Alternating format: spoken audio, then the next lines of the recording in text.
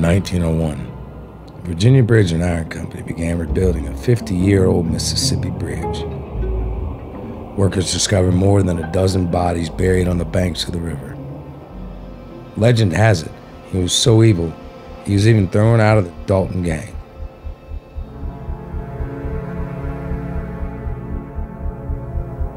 Years later, he opened an inn near the river.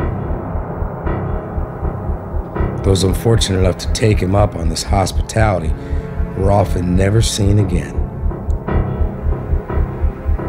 To this day, eerie experiences are still reported around the bridge that now bears his name.